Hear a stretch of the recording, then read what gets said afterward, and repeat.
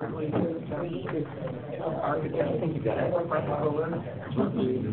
know Frank. And then tell them, people want to care more. They came down, I was riding, they. And so, they were, you know, we didn't. So we're gonna see some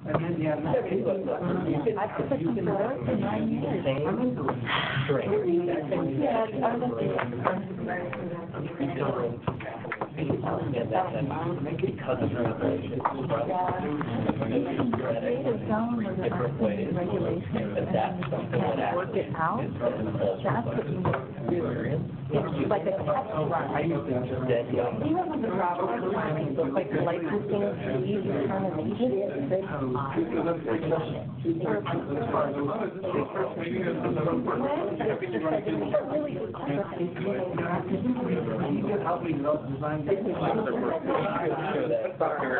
Uh, well, let's just figure out how we can charge them. Hello, hello, hello. I mean, I do the same thing. Hire me on camera, thing, guys. You turn that in today? Yeah, he's very supportive. Andy? You turn that in today? Yeah, Got that in there, please. yeah. All right. When, uh, when we met, he was just thinking, No, yeah, no, I, it's already on my desk. Sweet. because he It's figured. all coming together. Really nice to use some land that the county made. You better talk to Years so, and I John. just switch over into that. Yeah, it's like on the drive. I, I, I needed that one, obviously. On, okay, well, he's I have that building planned, but I've got them inspired. I haven't put that building in. Did you ever really saw? Two years ago. Wow. He told me, or someone. Well, that. Remember that one little part of Potter Valley that was evacuated both years? Doing everything in the wrong. Yeah, that was, I'm like, you kind of like Right? Yeah, like Mexican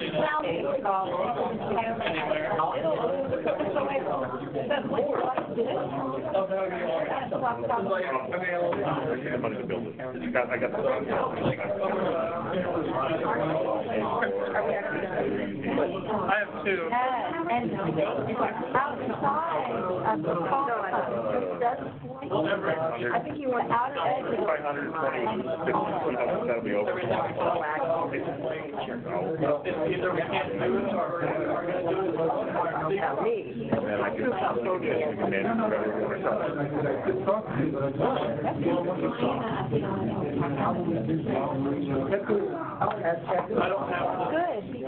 We can manage whatever we want to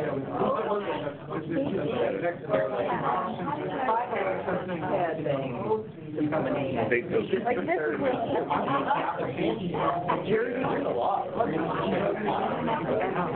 McCowen was Want to have overhead operating? on the two-two split, but he was. Well, so, That's what you guys should put the wall and say, "We.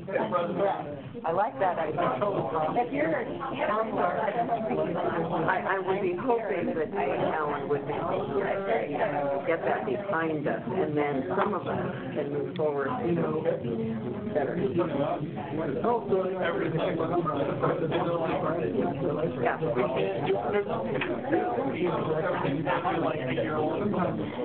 I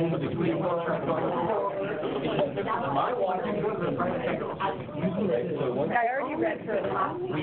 One of my clients really wants. And have all the ash I Yeah, so, well, so like, yeah, what he has, on, Don, I heard him, wants to buy a commercial. Um, and have like.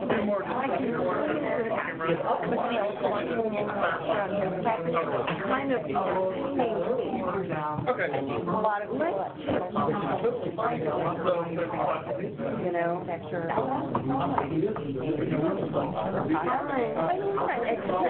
Anything from to VHO. I mean, so like, San Diego, Um, I know it's. Yeah. Enough property. Austin's really interesting in where it's at. Um, I think if you look at it, and then there's bubble houses and like really the bubble house. Speed zone, Julia? You know, Yeah. Oh, make this get work.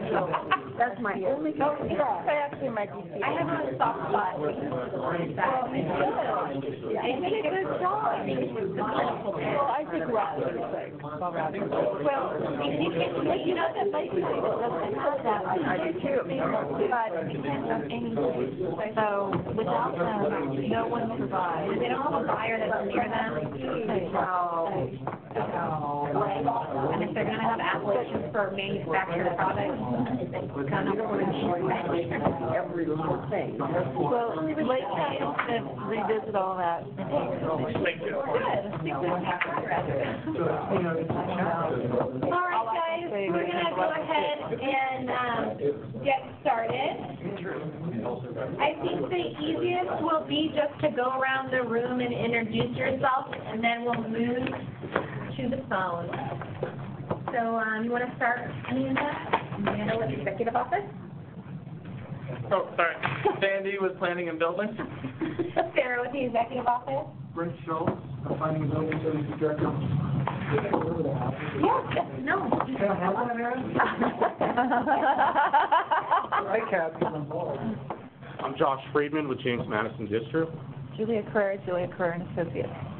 Kimberly Delacover Tate, One Feather Ranch, Surveyor, and part of the Denver. Stuart Martin. Great. Andy? Andrew Alfie. Tracy Keller. Oh, who are you? Louis Stewart. Judy Corinne Powell. Marvin Levin. Petra Buchanan. Jeanette Put. And then, James, are you there? Oh, yes, uh, James Clare from Flowkana on the phone here. And then Hannah, are you there? I am, thanks. I don't, don't know who named your name to us. No, it's, there's two people. That's the. Oh, oh. Colin. Header. Perfect. It's been a long day. Where's Sean? Probably taking care of something over there. Okay, Um, with that, we'll move on to the second item. There has been some discussion about people wanting to share the email addresses of the group members with one another. And what we've done in previous groups is we have that group decide if that's appropriate and okay, and if you're okay with everyone knowing your email address. Because I think typically we send things out with a blind copy, so, um, if you aren't okay with it, now is the time to say so. If not, then we can just share all your email addresses with each other. Don't we get your emails too? You have, I think everyone has my email. If you want it, I'll give you my card. All right. Hearing no no's, we'll go into the fun part. Um, so, what we've talked about in the past is we're gonna go kind of, um, license type through license type, and the first two that were the most um, at the top of the list was first micro business, followed by manufacturing. And so Vandy um, is just going to give an update. We did talk about a lot of the items for micro business, and so they've been looking at that and reviewing it. We can give a more detailed report at the next one. So he's going to talk about that. Then we had two other outstanding issues around micro business that were brought up, but we didn't have time to actually do discussion on. So we're hoping to do um, additional discussion on those two items. Add anything else that we need to talk about micro business, and if we have time, we can start on manufacturing. So with that, I'm going to turn it over to you, um, Sandy. Thank you. Um, so I was able to speak with our chief planner, Julia Acker-Krog. I'm not sure how many of you have met with her at any point. Um, but we were open, so what we discussed last meeting was having micro businesses be a standalone license in which you, you don't have it tied to a home occupation or a cottage industry. Additionally, we also talked about micro businesses without even cultivation, just as a standalone license in certain rural areas. And what we discussed, or what me and Julia had discussed, was that this, it is possible. The issue, however, with moving forward is that it will require a CEQA analysis, which the whole process from start to finish would take about a year. So that is really the big issue that we, it's not that we can't move forward on that, it's that if we do choose to move forward, um, which I think this working group would have to tell the board that this is the direction that we want to take, um, it's just going to unfortunately be a long process to, to remove the home requirements and such, yes. Does everybody here know what's involved in the CEQA process? I do. Somewhat, yeah. I think you might want to explain that, and then there are costs involved in that to the person, the applicant, so large substantial costs. Oh, so this is per applicant, this is not like a countywide thing that you're doing CEQA for? It, it really depends on the analysis. It's difficult to, because we haven't even uh, proposed regulations that would be a micro business without the home occupation or cottage industry, we don't have anything to analyze. And so it's difficult to determine if it would be, so when you do a CEQA analysis, there are, for, just to simplify it, there's three kind of routes you can take. There's a categorical exemption, Which is what we have now for our ordinance. Correct, and we would not be able to once, if we did this, because right now, everything is tied to existing uses, which is how we got the categorical exemption. Then there's what's called a negative declaration, which means the project has been reviewed and it's been determined that absolutely, or very few environmental impacts will occur. And Then the last one would be a complete environmental impact report, which is most likely what we would have to adopt. And then during the process, you would do an initial study, and that would tell you which. Oh, yeah, sorry, so the initial which study is what path- dictates, yeah. Pathway. Evaluation. Yeah, so through the initial study, you either end up as the negative declaration or the environmental impact report. And if, I would say if we're gonna go down that CEQA process, um, we may wanna look at all of the changes that you would want, because Yeah, we yeah, recommend no, it would, it goes down, like, You want to cover you wanna cover everything. everything, so we don't have to go back. and we did Yeah, discuss that, go that this, if we did do an EIR, we first would have to, as a working group, determine what changes we want to the ordinance, because we want this EIR to capture everything. Yeah. And there are costs involved to you that you have to provide them so they can conduct that. So, you know, it's archaeological reports, bioassessment, what else? Well, it also Well- depends on, it depends on the pathway you go forward with, because you're developing an ordinance, and during that process, you would then determine what threshold of discretionary review is needed. Right. So it could be a combination of ministerial, AP, UP, so you, it's kind of like, as you're doing the initial study in the ordinance, you have to make those decisions of which, which types of development become a new threshold. Is that right? But the other counties are requiring that, Yeah. just so you know. Mm-hmm. You might have to study tra, is it going to impact traffic flows? Right, exactly. Highways on those off-ramps and different areas. Pedestrian, how many guests are gonna come, how many visitors, It's, a- it's quite an, Traffic. You're introducing a whole other use that isn't there, correct. you know, and we just got to look at the impacts. Otherwise, what will happen, like, if we just went and did it, and said, you can do it, we'll get sued, guaranteed, and then we have to stop issuing permits, we have to go back and do an EIR to, to allow the use. I don't know that this is the best pathway from my perspective, I, This an is for EIR. if you have a residence, right? Did I For hear that anything. correctly? For microbusiness without a residence, then you have to get. I mean, generally what we would do is we'd probably take a, a similar, um, regulations that are used in the home walking cottage industry, because that's one of the reasons we tied the micro business was because there was a lot of kind of limitations that that allowed, so we would probably kind of bring those over to the new regulations, just not have that a residence is required to even perform these. I had it explained to me actually by a couple people, but, uh, Ted Williams, to, to describe a comparison of another county that you were looking at. Uh, I think it was Monterey, but I could be wrong with that. It was, um, they managed to get it down quite a few months from a year, and it was like one twenty total. Um, so then that's to the county, that's not to the people speak studies, and that was a, a general, not a program, uh, but a, a general, um, you know, complete CEQA. And they were really lucky in, in uh, Monterey County, they have specific areas that have been abandoned by previous industries. So they were able to take some of these areas and essentially redevelop. So, um, he seemed to think it was worth doing, and you described it as less onerous, that's what, that's the sense of what I'm Yeah. getting, this discussion. Sure, Monterey is really. I mean, we can look Driving into Monterey, I don't, we did, me and Julie did not discuss that, um, And micro-business But- might be, micro-business and cultivation sites are a little bit different Well, than I was gonna say the possibly redeveloping counties are all- an area to make it easier to manufacture. I would say counties are also different. So, not to say that that's not a good example, we would just have to see Right, the kind of the baseline for them compared to us. I understand. Yeah. It's a different situation, but how would this also impact the coastal? So we're actually currently writing the coastal zone regulations at the moment. LCP, right? Sorry? You're writing a new LCP, local, local coastal land. Um, No, we're not. no. Not, not That's two million dollars to redo the coastal. We're gonna redo, Come on, let's have one call. uh, probably try to redo a section of, an amendment to it. Great. Uh, Are you gonna open up the uh, coastal zone for, uh? Well, we're studying it, we're being, we're studying it right now on that. We have to have talks with the coastal commission on that, and, you know, we're, just so you know, we're, right now, we're doing an accessory dwelling, you know, you know, the state of California adopted these accessory dwelling unit standards. We've adopted it now on, in the inland area, it's all done. We're now, we've been having meetings with the coastal commission staff, uh, on, you know, and it's like you're mandated, you gotta adopt it as a county or city, right?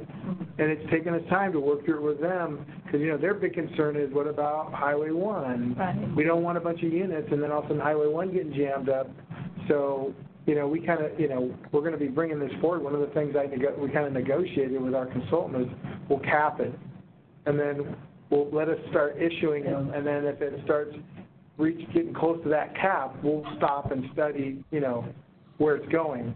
Now, I'm told on the coast of Mendocino, any units, it takes a long time to get the permits, and I'm told this on people who worked at our coastal office, that it's a slow process to get, uh, single-family residential structures or anything permitted on the coast. So, but, I talked to members of the coastal commission myself, I've been on it for years, because our whole, uh, Canada tourism depends on being able to open up Yeah. coastal zone, and we're so hung up, and he said that the hangups were in the county of Mendocino, that you all were stopping much of the Ford project, so I don't know what that means, if there's yeah, I don't know what he's, he, Bob Yeah, yeah. Bob Merrill, Yeah, we're working great. I'm, I okay. I really like Bob, we're working well together, had a great meeting on ADUs. You're gonna see us, you'll see us come in March forward with an informational staff report to the board on ADUs on the coast. And then, you know, I'm hoping after that, vacation rentals, we're gonna update that ordinance to give some more, uh, clarity to how those are to be managed and monitored. And, But we'll and Matt drink has, cannabis. and And Matt, cannabis, Matt- too. I wanna say Matt started uh, like in, Yeah. in the last couple of months of, for, of the Yeah. coastal ordinances and for cultivation. So how are But there's some sensitivities on that coast, as you know, we all wanna protect it. and we are working. We don't want it to be hurt. Existing commercial zone, commercial zones Yeah. are in the coastal zone, are they gonna be opened up for, uh, simple things like processing, distribution, and type That's what we're gonna be talking to them about. Okay. is we're gonna be talking to them about all that stuff. And I will say, the direction we are taking at the moment is similar to the inland way in which we've tied it to existing uses. Uh-huh. Otherwise, we're, again, looking Yeah. at more than a year to, to amend it to allow uses Yeah. beyond what's existing. Best case scenario, what kind of timeline are you looking at with this? On the cannabis on the coast? Yes, Right now, so we have, we've written the regulations and we're gonna, county counsel's a bit busy at the moment, but once they're free up, we're gonna go to county council and then bring it to the board, uh, maybe in the next two, three months for discussion, maybe, I hope to this get year, direction. you know, we can bring something forward. And I, Here, well, yeah, business is by the end of this year, we can't wait that long. yeah. No, we're gonna, we will have to shut down, we've I been waiting for appreciate- years now for you all to get this going, so, Yeah. um, that's not acceptable, Well, I appreciate your comments. yes. Yes, she, Yeah, our current. sorry. I'm, I'm only a little confused about what is required in your mind now for CEQA and micro businesses if the micro business application is coming from a cultivator who is already vetted under the baseline initial study, So that, ba- why that would trigger CEQA. that baseline is for cultivation, not for micro businesses. And so what are you saying is going to be the negative impact that isn't understood? That's what we have to study. Mm-hmm. That's the issue. Yeah. We don't know what the impact We can probably, like, well, what, yeah, Chris. That, we can't just say that, that- that's not how it works. We can't. Doesn't work for the county. Environmental quality. So, so basically, just for everybody who's trying to figure out how to survive and where to put their licensure dollars, because you can't buy every license hoping that somehow you'll be able to do business properly. I don't think so. You're saying that it's a year probably for uh, uh, combined county and cannabis CEQA process with an EIR. It's a- probably at least a year. That's what you're thinking will probably happen? That's So the that would conversation right now. No micro-business potential in at least a year. Well, outside of the existing scheme. Correct. So like if you did the home or cottage, you, it, you can move You forward? can. So it really comes down to, out of all these recommendations, what goes forward and what changes the board, what changes you recommend and what the board ultimately does. That's our office saying, put it all together. So one other, another good one, was- so it, it is, it kind of is what it is. So if you're going to make drastic changes outside of the current scheme to allow more flexibility and allow more use in an area where we typically wouldn't, there's going to be analysis, and typically in the CEQA process is a year. It could be less than, It can be, it but can be. the standard is. If it goes, But we're, we're probably not if it goes smooth and it go, and, you know, there's not big problems in mitigating it, it can go fast. I've done them very fast, mm-hmm. but it depends on The review Well, process. No, this is, we are a general law company. We're under the state of California. It- They've adopted CEQA. We have to comply with it. We can't just look the other way. We, we'd love to figure out ways how to go faster and quicker, and we're trying to. And, No, but that- but we that's- are, but just so you know, we're under, we're under CEQA, Yeah. under the state Now, we know what you're saying, but if what you're saying is at least a year and potentially more, Yeah. people need to know that they have no hope of doing anything with a micro business for a very long time. That's all. And maybe we should even quit talking about it at some point because it's a waste of our time until You may want to, you may want to consider talking with the board about what you think your priorities are. And I'm, I'm just going to say that just because, you know, simultaneously, we're working on the coastal, which is a big deal, and we need to do it. We have the facilities, big deal, we need to do it. We have cultivation amendments, big deal, we have to do it. Accommodation districts, got to do it.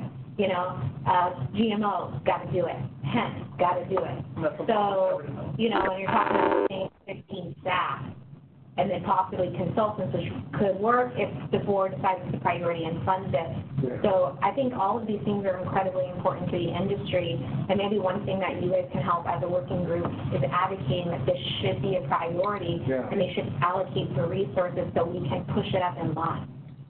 Budget- I like that our process. perspective. Yeah, and I like that perspective because the board was the one that set the priorities without your input, right? They just heard public comment and then set the priorities. set priorities, I don't know, a year and a half ago when microbusiness was at the top. Yeah, but remember a lot shut down and then they did that board meeting and created a whole new priority I list. mean, it's And that micro not business, as if that uh, sense of prioritization hasn't been done, is my point. It Yeah. may help though at board meetings, instead of hearing cultivation, cultivation, cultivation, cultivation, cultivation, cultivation, we get someone that says, hey, manufacturing. Hey, I, do Yeah. I know, we need a few voices. We need more voices. Josh should do that. Josh, you should get up there and start doing that.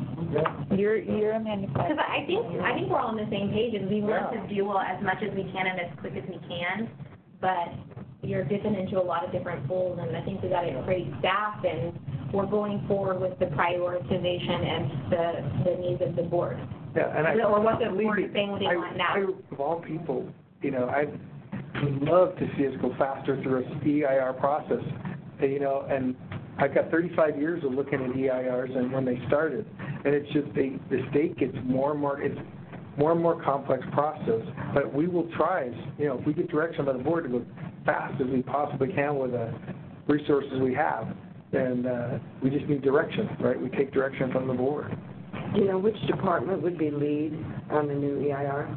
It'd probably be, I mm-hmm. assume it'd be us. Planning and building. And we Because probably, all of that's in their, their code. they'd not have us the hire a treasure tax consultant and select an EIR consultant and define the process, you know, what we want to do. And again, I think what Sarah said is really, we got to put everything in there.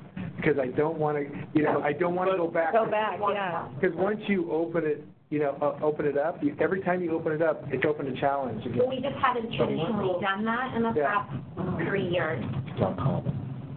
So I think that if we are Yeah. to take that path, I think one of the things this working group should work on is de- determine what those changes Yeah. are, so that we can bring that to the board as direction back to the planning and building. But these are things we want included in, and, yeah. So let's create a process for that. How would you like to structure that input? Do you have any I'm examples of what we're talking about? So we have, um, let me go over it. So the last meeting, we talked about looking at micro business as a standalone license and evaluation within the license type on the property, not tiered to cottage or home. Um, PBS looking at expanding the zone and updating the general plan allowing micro business license as a standalone and not necessarily to cultivation. And we can go quickly through the things we've already talked about and then finish with these two. Do you want to talk about that one? Which one? Did I say that one? I was Oh. thinking of something else. That's an option.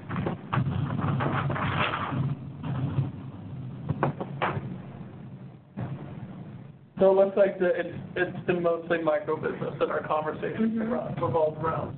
That leaves, I think, four or five other license types. Because most of the other stuff, the last one is really about the building and X one occupancy. Um, the other two issues that we were gonna talk about for micro business is the pathway to use administrative permits instead of a minor major use permit. And I think that's another good idea that we could incorporate, because essentially if we do the upfront analysis, we can lower potentially the threshold and not make you pay for a use permit. Because the reason for that is that it, it's tied to the cottage permit. Right, right. So we had standalone license, and then that was the second one was the pathway for admin, or um, an admin permit instead of major and minor use, which would potentially, That would offer a lot of financial relief for those that want to go down that path. And then the third one that was brought up during microbusiness was the threshold for a tiered microbusiness system, so kind of a tiered license structure. And those were the three. Um, So this pathway to an administrative permit in place of a major or minor use permit, that include being able to apply as a type one manufacturer or distributor or processor to, to, uh, for permits in the commercial zone? Uh, he, like, he said Applies again, to sorry. everybody, doesn't it?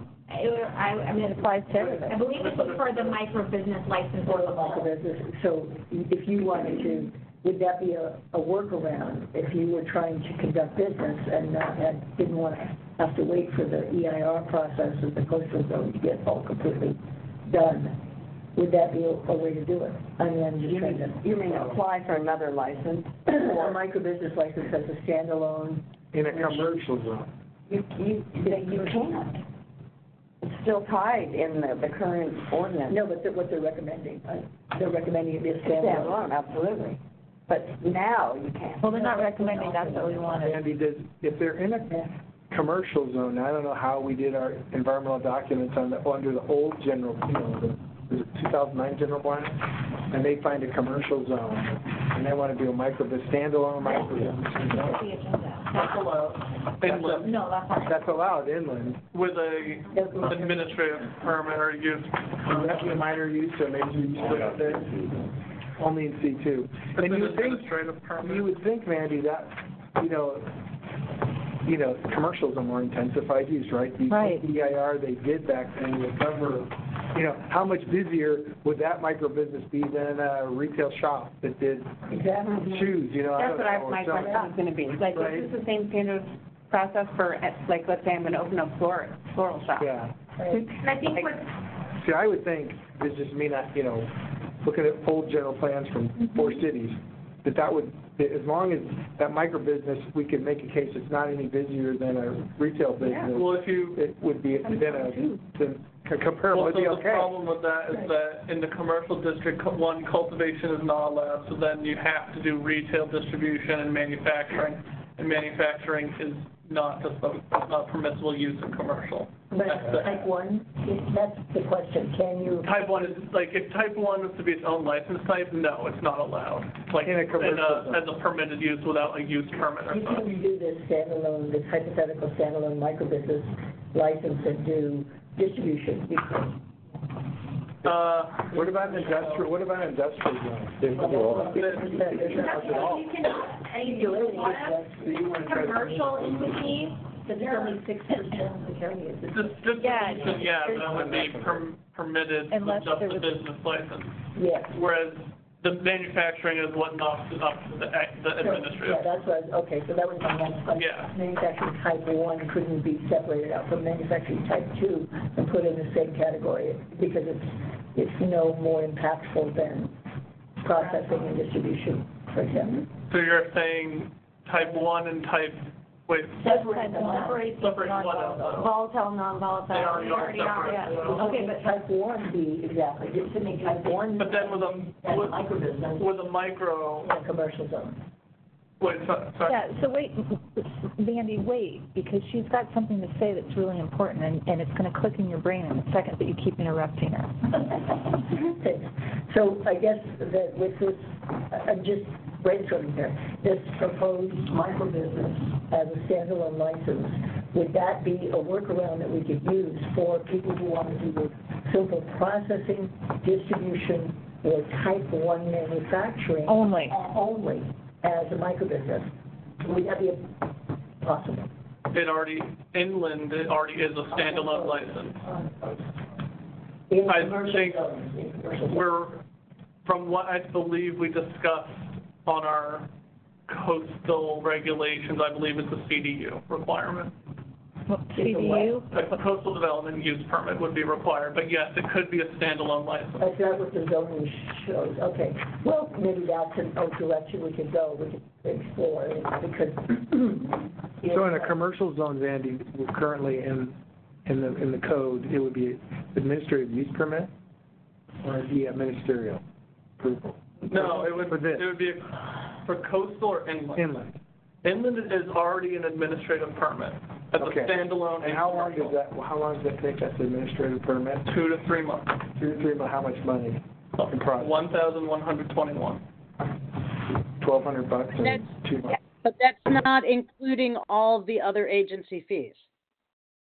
Right. Correct. That is our application fee, and the two to three months would be the processing of the administrative permit, not the business license. But I, my question specifically to do with the The code. coast, right. Yeah. Oh, he's trying to figure it out. Going on already. in the- And you'd like to have that ability when we take this We have those activities going So- on in the coastal zone, Yeah. commercial zones, in the coastal. zone. We will be proposing, Microbusiness thing could be the pathway. and we are proposing that microbusinesses be allowed in commercial zoning, but with a commer, a coastal development use permit, which is kind of What's a, that look like? I've never heard of that, I've never been exposed to it. What does that look like? it's a use permit, just with the coastal development in the front of the name. And so is the coastal zone doing it, or are you doing it? Is this called a coastal? It it would be in the coastal. Yeah, but, no, yeah, the coastal commission, sorry, you're doing it. Well, it, de- it depends on the parcel. Some parcels are regulated by the coastal commission, some are regulated by. How long would that, what would- is that the process that's, is that the long, or is that a short process? It's longer than a CDP.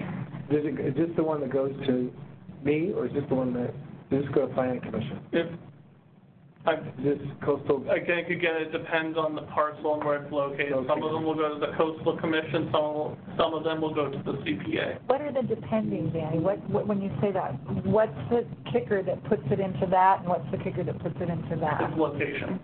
Of what? The parcel. To what? I, I get that, but located next to what? It's a zoning, Very, what is there There is no set thing, it's, it's very, you know, some parcels are east, or they're west of Highway one, so those are subject to the coastal commission. Some are west of Highway one, but they're still subject to the coastal commission. It's not, It's- there's a Yeah, got it, the No, line, but so it's within the there's line, certain- got it, There's certain thank you. parcels that are exempt from coastal commission review, that's what I'm saying, and those Okay. parcels, there's no formula to figure out what's in there. Right. Yeah, 'cause it varies, the, But look at the boundaries. other I get it now, I, I thought it was for zoning Other somehow. communities such as Eureka have been able to oh, get the coastal commission to approve having different businesses, different kinds of businesses in the commercial area of the coastal zone. Right, And they didn't take all of this. Are they doing it by, but that's what, is what it by they've adopted. right? I'm sorry? Is it ministerial by right? They, they can sign your business license with counter?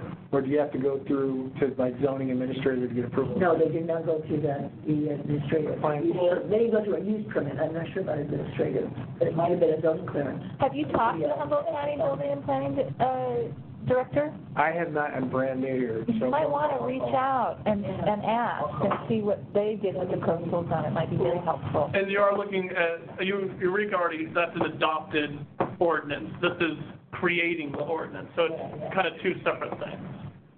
Well, yes and no, I mean, you know, who knows when they talked and who knows how it all worked out, but I think by talking to the Humboldt County, the Yeah, we- building, and- yeah, then, then we're not guessing at anything, we'll actually know, We want to hear, yeah. I like to know what Sonoma's doing. I like to know what every, you know, everybody. Yes, no, And, They're not? no. yeah, check out, you know, other Monterey and Santa Cruz. So Sonoma's not issuing any permits right now?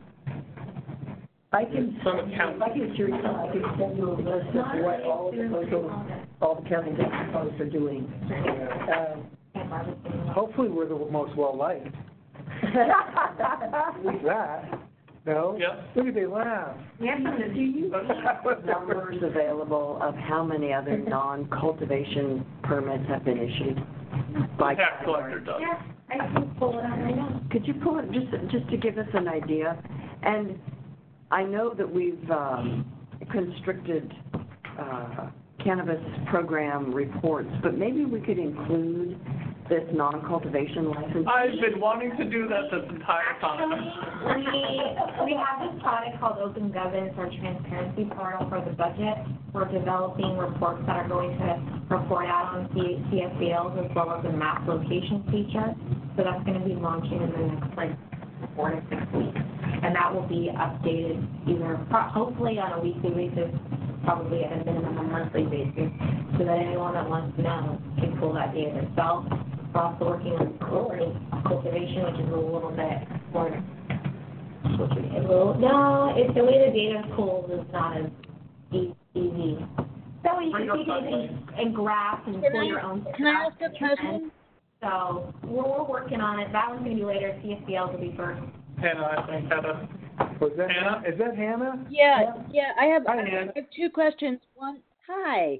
Uh, one question is, in that reporting, can we have the breakdown between the different types of licenses? Because a lot of people got local uh, distributor transport only licenses, and I think that they are in kind of a, a different league than some of these other more intensive uh, non-cultivation business licenses.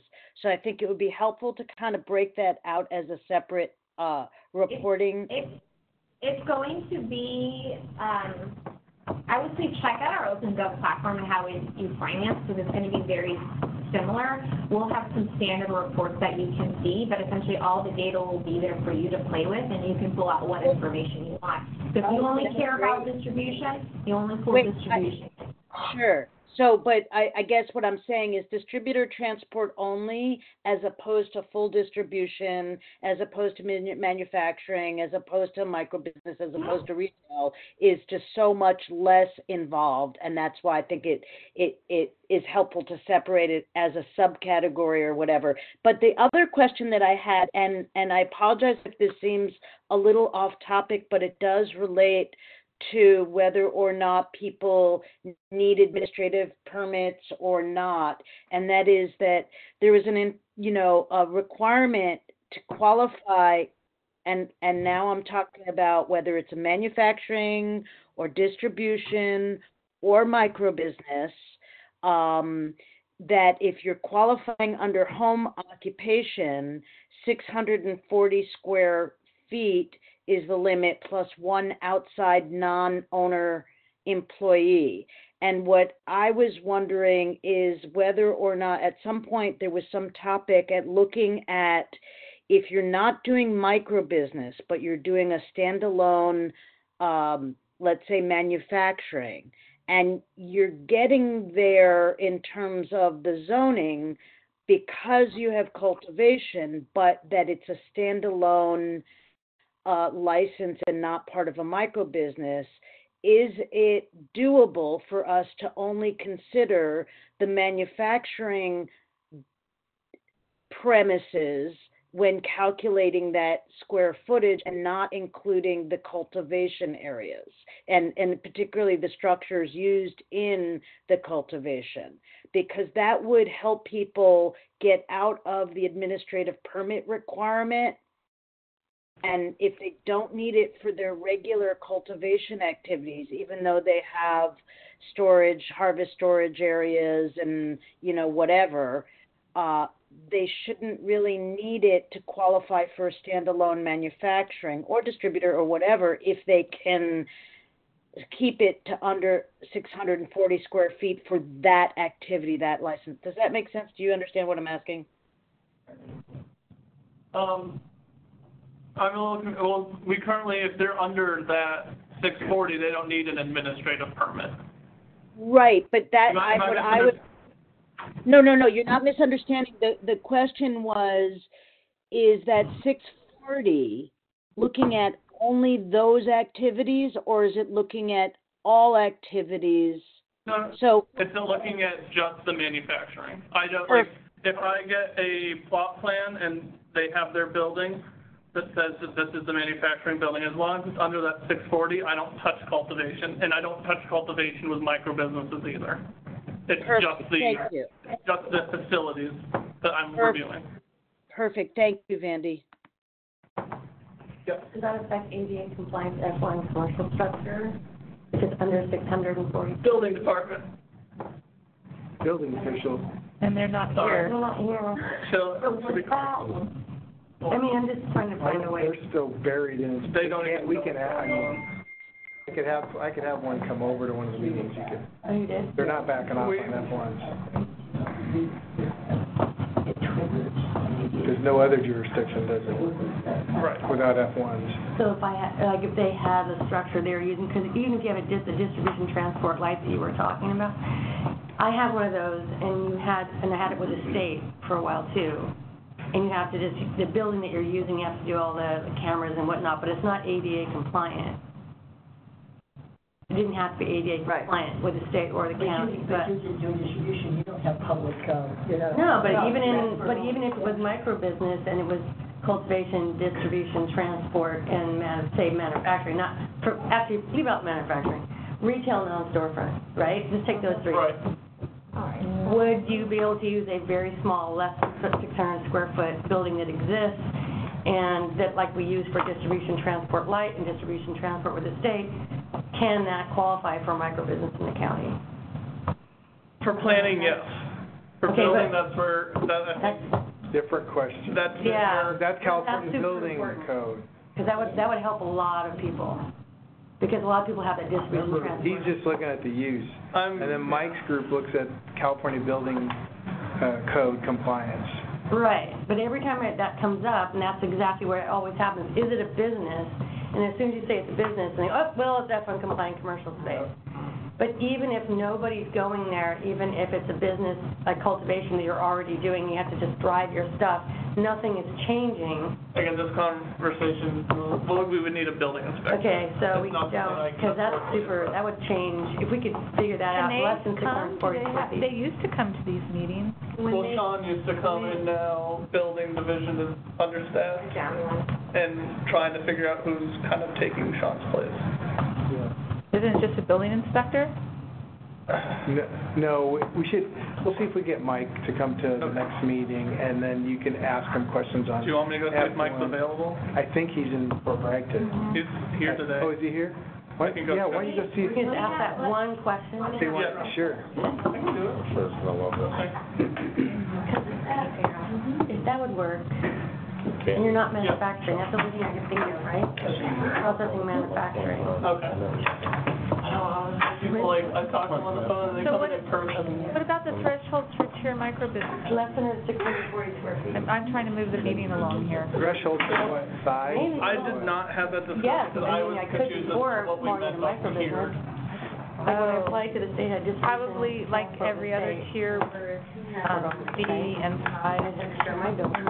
But you mean size of what, size of the cultivation, size of the building, size of All the what? other normal. I don't know, I, I didn't, I didn't. Talking about. Yes, ma'am.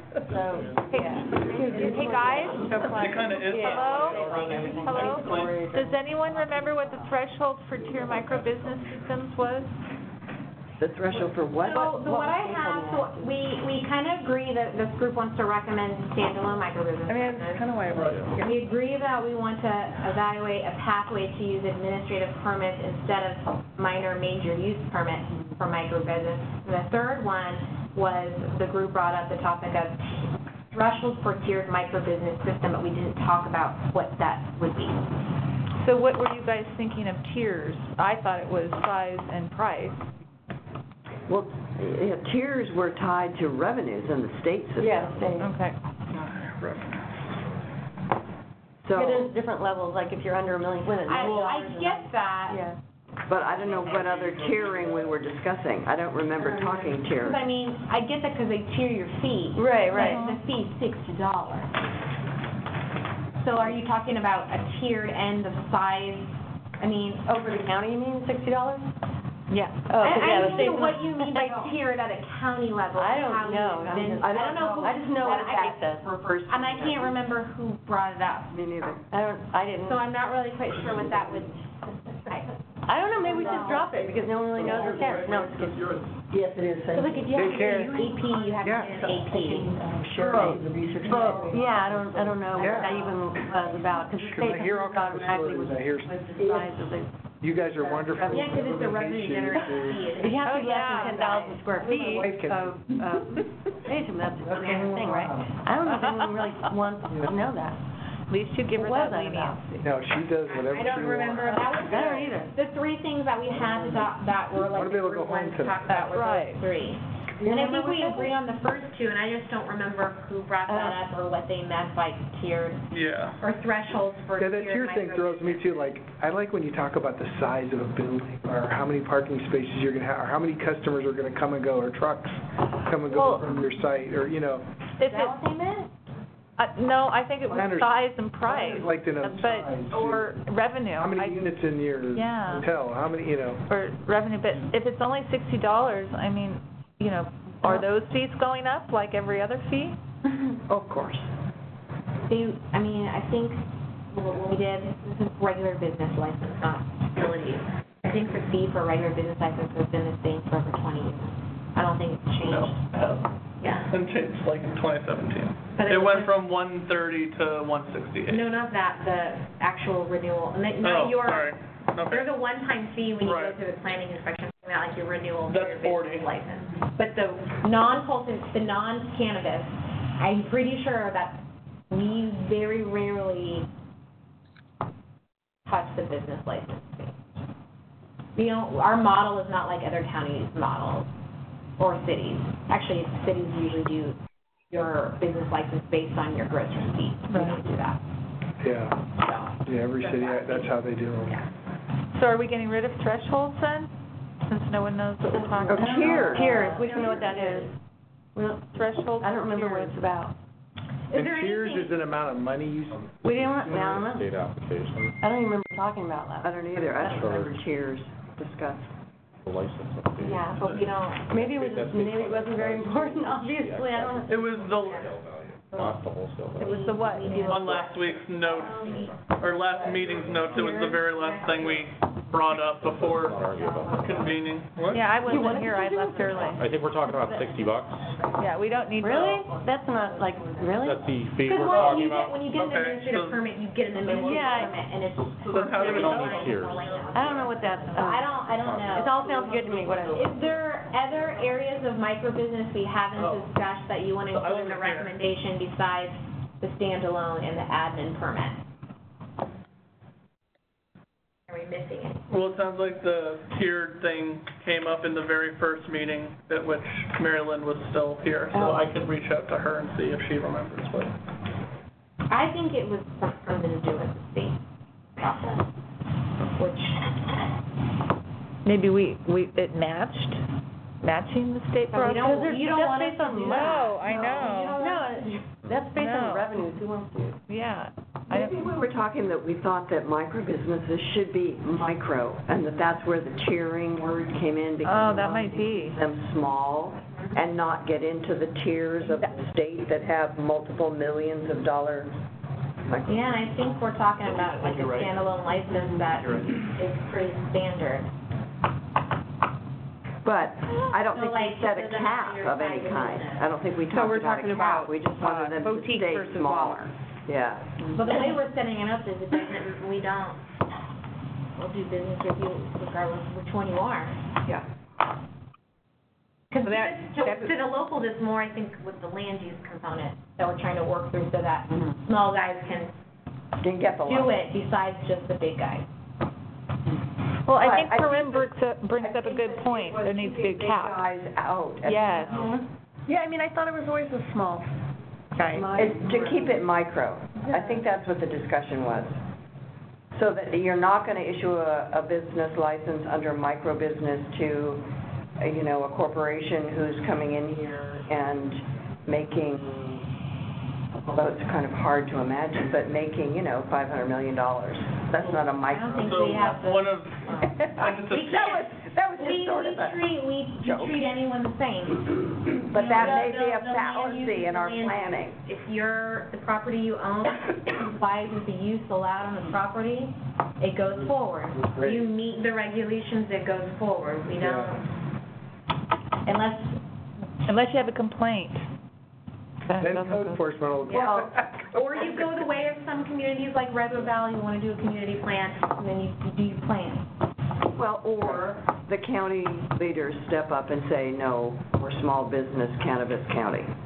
Again, And, With and they what's on the direct book? staff. but what's on the books is what the staff enforces. That's what I'm saying. It's gonna take the leadership to, to come to that supportive, small business. And what I'm hearing is that this threshold for tier microbusiness systems is just what we're talking about, to cap it so that there aren't major players doing the microbusiness. So what you guys want, then you want to tell the board you, you don't want any big. uh, Correct. Business, you don't want any large like Flowkanas? Yeah. You, Like, you don't kind of want, like the boutique Sorry, versus James. Walmart, it's like, right? yeah. I mean, you don't So want that's something kind of- like that, you only, after, Flowkana can stay, but everybody else Well, as must be, microbusiness. mi- mi- must be miniature versions of Flowkana. Not necessarily No, I'm not miniature saying of that. the Locana, but The cer- micro business license itself should be for, like, there, yeah, Locana's Yeah. not, Farmer. whereas. Flo- Locana's not Locana a doesn't use micro a business. Yeah, they have tons of. where the tiering comes in. What? I don't, What, Paul? That's where the tiering comes in. So there's a, not- in the state regs, you could rent a building the size of Costco, excuse me, and do as, ma- as, uh, you know, purchase 500 tons of cannabis and manufacture, distribute, and retail. But the tiering it is for the small operator who has, and by the way, the state for cultivation, is 10,000 square feet of canopy is small, and it's the maximum in, in Mendocino County. So in order to do this, the tiering, but that's what we were talking about, is having it so that in Mendocino County, you, you would be able to cater to the small farmer, which is ninety percent of the people that are here, the people that are that are wanting the micro business. Um, so the state would allow people like Flowkana and God forbid Cordova to to to come in and and do a micro business under those terms. but to have it tiered so that, that there's something that, that would give people to help level the playing field for the small farmer, the small operator. Because under the current conditions, you have to have a value-added product in order to be a small farmer and, and make it because you just can't do it selling flowers if you're a small farmer. So the thing, the problem I'm hearing is our system is not set up to do that. I mean, we're talking about a land use regulation, defining what can take place at a property. So I get what the state's doing and how they're doing it is, is with a monetary dollar value. Yeah, but. But What it's if doing that's is I'm shutting confused- down all the what I'm boutique confused people. about is Like, we're- we can't compete We're with talking Walmart. about changing our land use regulation Yeah. so you can use your land to com, to get your state license. Because if we can get your land, we're low, we're low threshold. Biggest threshold is getting your, your buildings and getting the land use. But once you get that, which is our purview, you know, that's where I'm confused about what would be next. Because right now, we're talking about changing the I agree land with you, use. it's kind of like two different Well, it conversations. sounds to me like it wouldn't be a micro bus, that wouldn't be a micro business license, that would be something else. I would like, And, and, and there, and that's the cap that Corinne was talking about.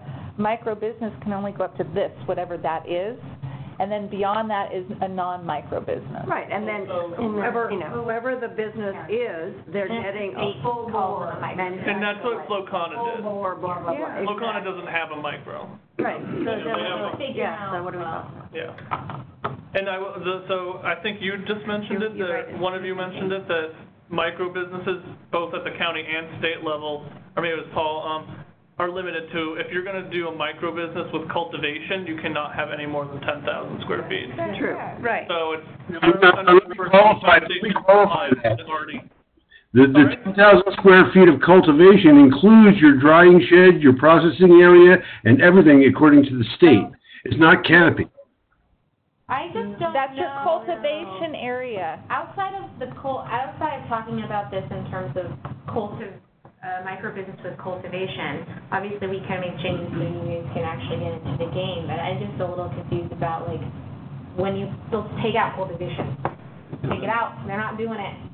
I don't really think, the way it, our, the way county government runs and their job is land use, that we have the ability to say no to someone if they bought an industrial one. Oh, hold on, this county But I mean, has isn't there a already size done that sort of limit? thing I mean, when that's they what I'm said, wondering, aren't you there cannot size have? I mean, there's one thing anybody if it's do like a that. But there should be one for, foot industrial, When we, twenty when thousand. we went into the facility ordinance, I think it, it's this, different but the facility ordinance never got the time and attention as cultivation. So this ordinance was developed as, we want to allow all, no, we want to allow all the different license types of the state, and we want the lowest barrier possible.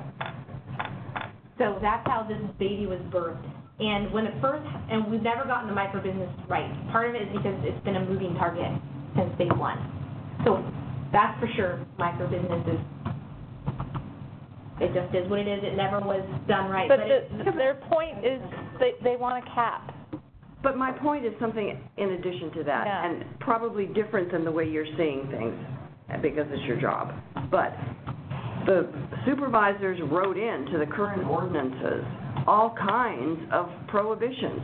And one of them definitely is that, like any other business, you can't sell your farm to somebody and have them continue cultivating. I can't either. So, They've my been point is, restricted in cultivation. but my point is, they have written that into an ordinance. They can write another kind of control economic factor into the non-cultivation ordinance pertaining to caps on micro-business revenue category.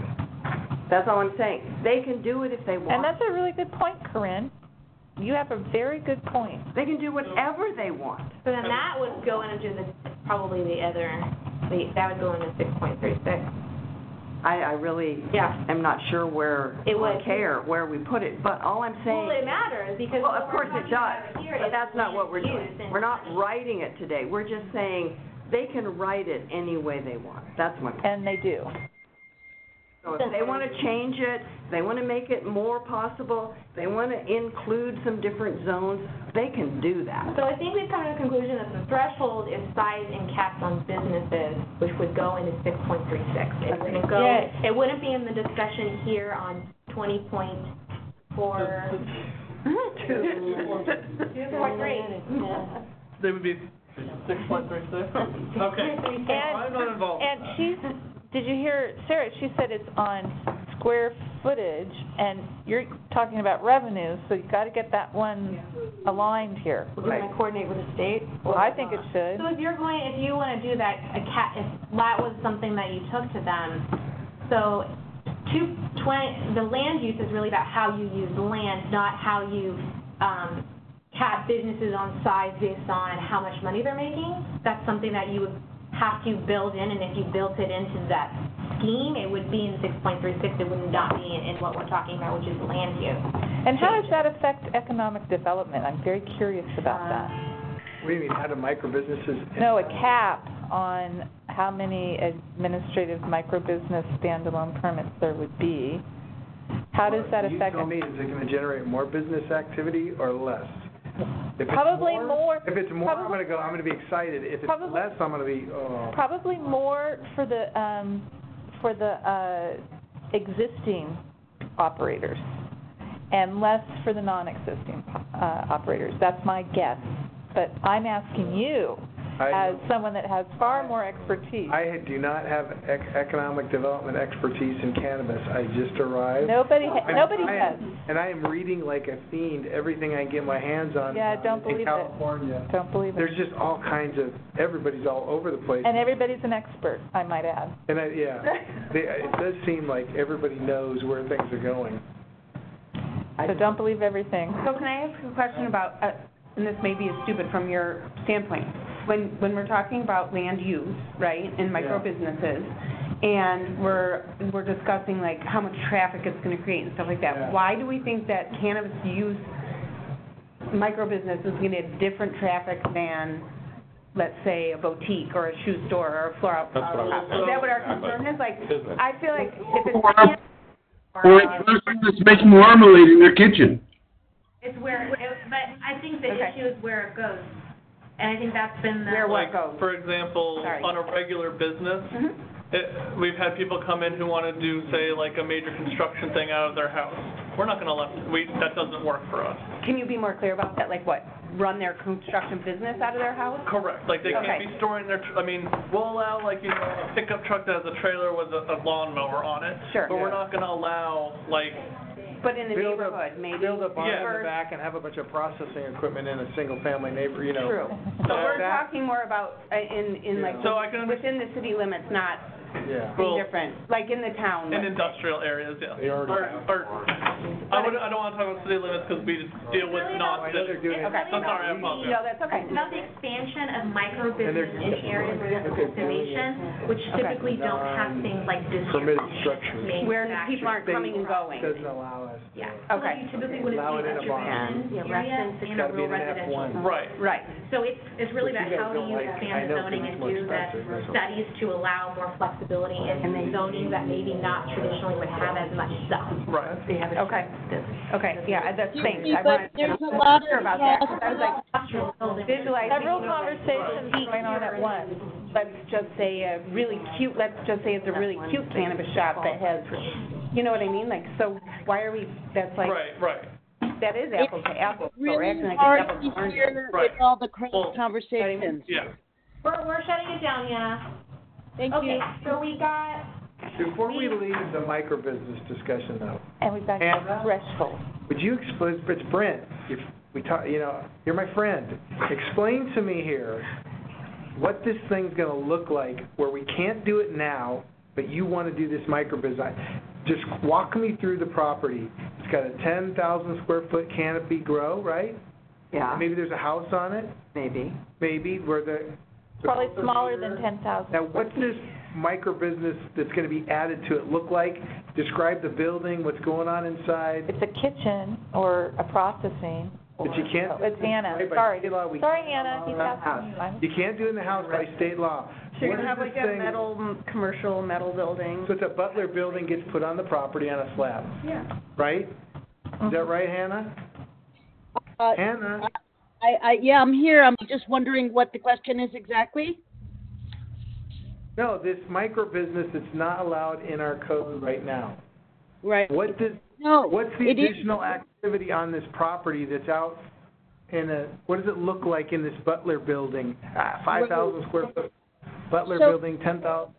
So here's here's the issue is that there are micro businesses allowed, but only in certain zonings and only tied to cultivation. And in other areas where it's not tied to cultivation, it's in other limited zoning. So I think there's two separate issues. One is um, if there are ways to free up zoning uh, for micro businesses that are not ans- uh, accessory uses to cultivation, and That's the uh, standalone. The, well, it's it's not really a standalone, but it, yes, it's it's um, a micro business with with different uh, activities than cultivation.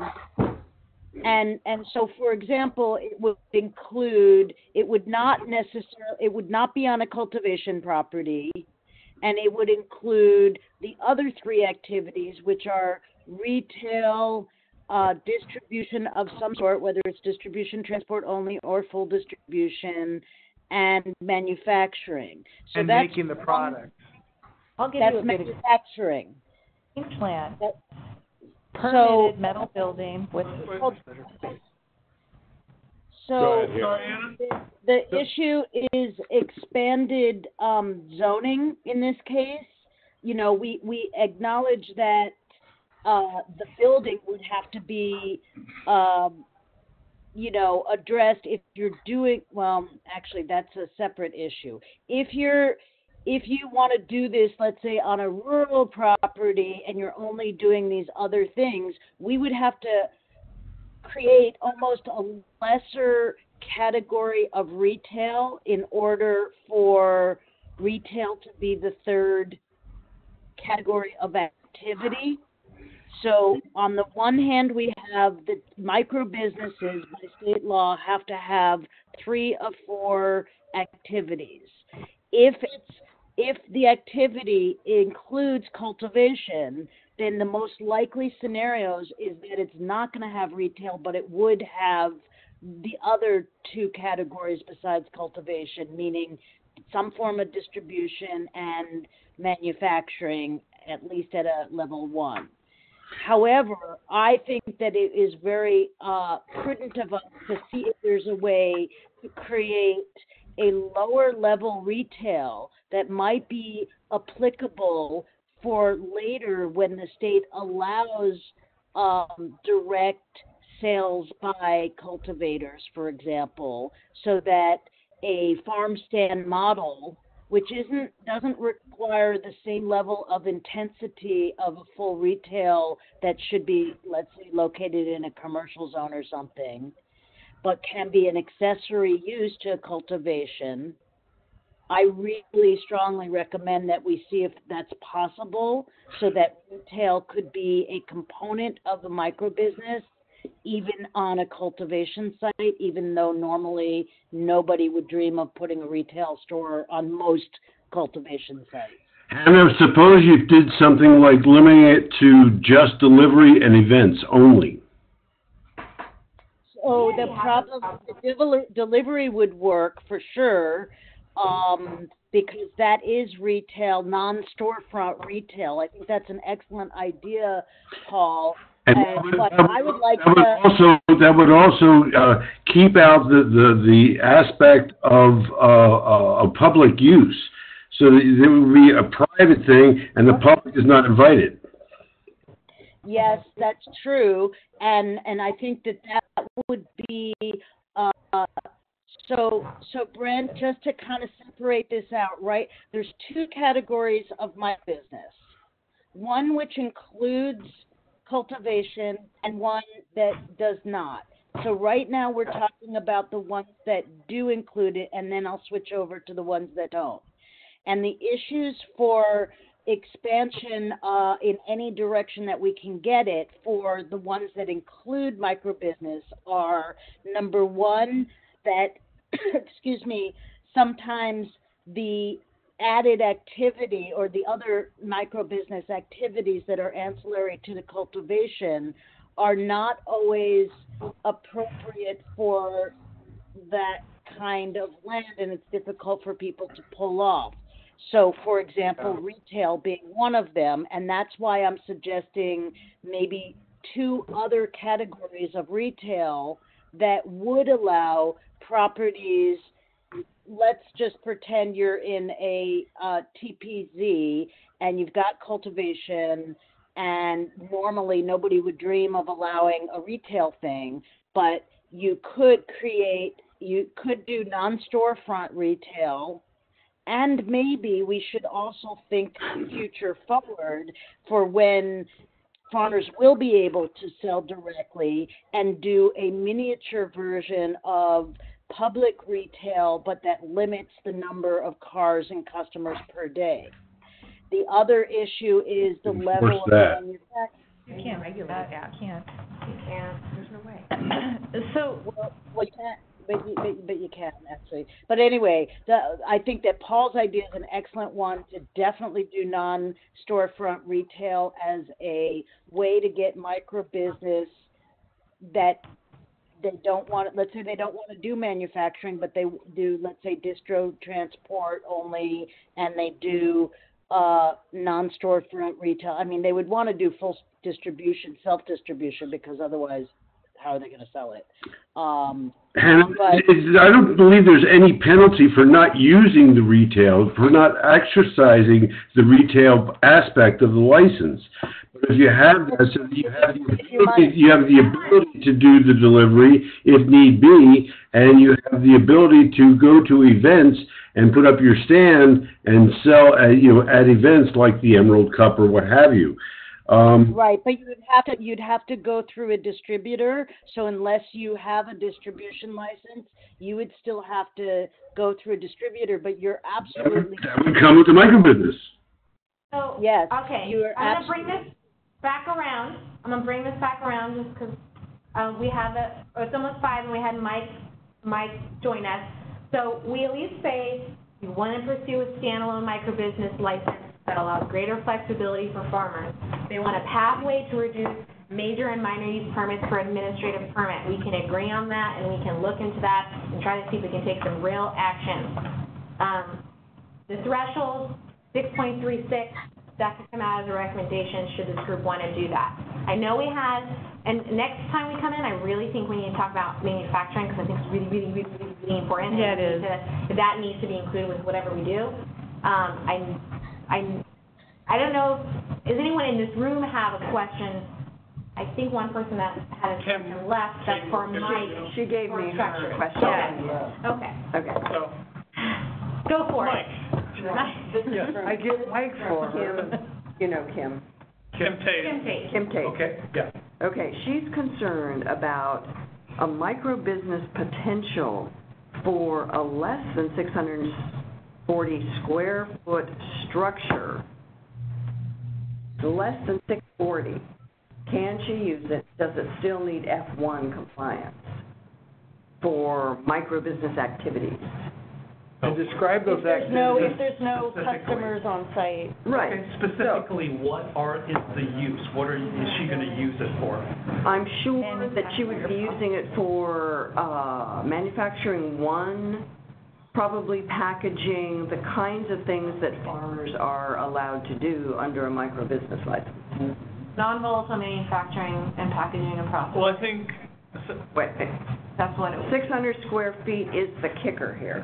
And whether, whether if there is a building smaller than that, if F one still applies. Uh, so in the use and occupancy classification, chapter three, it does not, in the F one occupancy, does not list, uh, minimum square footages. The answer is, if it involves manufacturing or processing, it fits right into the F one because of the charging statement of the F one, it mentions processing.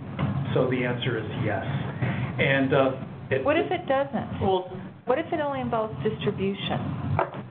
Yeah, what if she's like cultivation, Well, we can talk transport about all only kinds and of non. hypotheticals here. Well, she, because she said non-storefront, I think transport and cultivation. she's I don't no if she was storefront. talking about Yeah, so- manufacturing. But She wanted to- she she wants manufacturing. Oh, Yeah, yeah. she did. Yeah. You answered the So we're- question. Yeah. You did, and now I've asked the second question, is the Sure. same scenario, taking manufacturing out. Okay, Yeah, okay. it's really good. So And what and if what it- would you like to use the structure for? Distribution, processing, Processing. Uh-huh. Okay, so processing is in the charging statement of the F1 occupancy.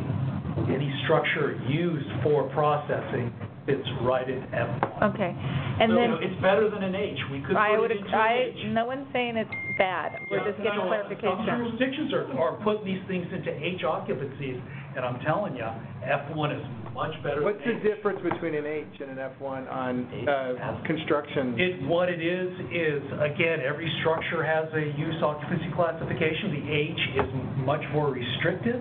It's gonna be, uh, the type of construction involving the framing and everything else is going to be, uh, much more, uh, Non-standard. fireproof. It will be sprinklered, where a F1, man, you could build up to, I think it's, uh, twelve thousand square feet and not be sprinkled. People don't realize what a nice occupancy classification F1 is. But F1 does have, it does have an ADA bathroom in it, right? Does it have an ADA bathroom in it? Yeah. All commercial structures do. I know, and that's Yeah. required by the code. It's required by California state law. Yeah. Well, so now I'm just curious, regardless of the manufacturing, what if it was just distribution and retail delivery where it's not people coming? Right, that was my next question. No process. Oh, oh, No okay. processing or Okay, manufacturing. no, no public access. Yes, right. Okay, what's gonna be happening within that building? Distribution, which is storage, and then retail, non-storefront, which is pretty much also Taking storage. stuff, putting in a car, and it leaves the site. Yeah, shipping. Okay. The storage. So typically, a, a retail occupancy is an M occupancy, okay, for mercantile. So, uh, there's a slight possibility that a retail occupancy might be into an M occupancy. There's not gonna be much difference between an F1 and an M. But what if But if it's it's M without, with, if it's, exactly, if it's non-storefront? It's delivery. It's retail with no customers, they are just storing it there Hold on. and taking their car and delivering. Yeah, this is an operation that works with a delivery truck, Okay, and, uh, if it's, And there's no customers on site. okay. and they're not even allowed, they have to keep the product that they don't have on the trucks or the cars, they have to have that in the, the location? Someone? The storage. Yes, the- It has to be stored on premises. Okay, okay, so then, now we have an occupancy of an S1 or an S2, uh, maybe, okay? So we, we, we look at what's S1 being or stored, S2. we look at the quantities of it, S for storage. It's still, it's still a, a commercial uh, occupancy classification, okay? So that means ADA. Um, yes, yes. S, But remember, when we talk about disabled access, we're talking about one parking space, a path to travel to the door, and a way to get in. And the entire the interior bathroom. is a workspace. Yeah, and the bathroom. yeah, yeah. People So- need to go to the bathroom. So S1, Not me. M1, and F1, when- if we line them up in columns, which it would be nice to draw right now, really the difference is there, fire sprinkler, and the, con- the way you construct the building itself for fire, That's true, but when we have, when you're talking about manu, or, uh, the micro business, it, that's a mixed-use occupancy, and you have occupancy separation walls when you have mixed use. So, uh, it depends on what that mixed use is. If you have a retail, a manufacturing, and a storage, you're gonna have different rated occupancy separation walls that protect those interior spaces for fire purposes. and would you need to get three different permits for the three different? Just one permit? It's under one roof. It's just construction One types permit. that. Got it, It- got it. It's one permit, one Okay. plan, one permit. Okay, great. Yep, yep. How much are those? S1s, M1s, and F1s? That, that's a, that's a loaded question. Well, let's- It depends on the It depends building size, right? it depends on the construction market, how busy your region is. Is this brand new construction? Is We're it- looking at the three columns here, folks. Same, same building, six hundred and forty-one square feet. Um, you know, we're not changing anything of what we've been discussing. What, when we line the three columns up, what are the differences in costs between? Have those two, three different kinds of occupancy Yes. structures? Yes. All things being equal, Uh, storage structures do have a, a slightly less fee. Uh, when you take an existing structure and you remodel that existing structure, that is gonna be based on a job cost, which is labor and materials. When you build a new structure from the ground up, that gets a new square footage structure, which is feed out differently. But, uh, but we're in the column again, but S and M, wait, no, M and F are similar in price. You wanna know S what is the cost slightly- difference is? Yeah. Like how much, it's gonna be ten grand for this one, twenty grand? Yeah, yeah, yeah, yeah, yeah, yeah, for the You're talking about the building permit, or you're talking about the cost Yeah. of the building? You're talking I about the think you're building. talking about cost. We, we have a fee schedule, you Right. know, that we can refer to on the fee schedule. Uh-huh. And our admin staff can help you with the fee schedule. And your fee's Also- really not what you, No. Are you talking about the? I think she wants to know what's it The gonna building No, permit no, or the no, no. construction of the building? The permit, the permit itself, Okay. yeah, Sure. that's all we're talking about. Not construction permit. No, uh, yes, it's a, Construction permit. well, it's, it's from the planning department, or call it a building buil- we call department. it a building permit. Yeah, exactly. We have a fee schedule. It's planning, it's health department, there's a number of different agencies that have, that have their piece of the pie. Right, but we're just talking to Mike here, folks. Yeah.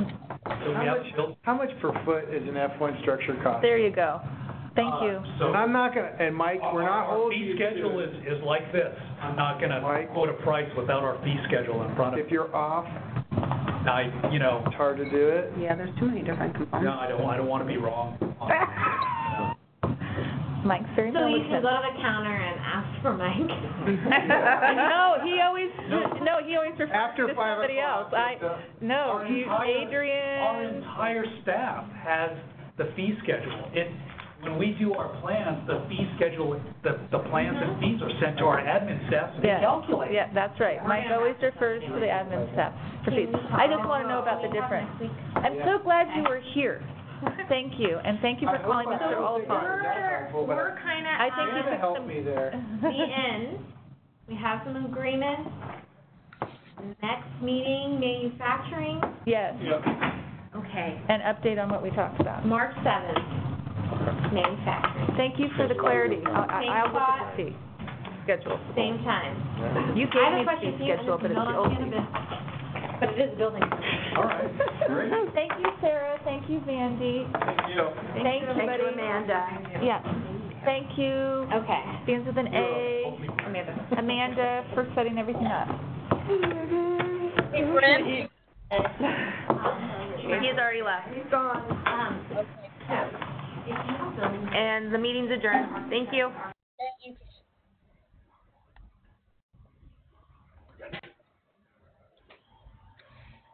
Thanks, everybody, talk to you later.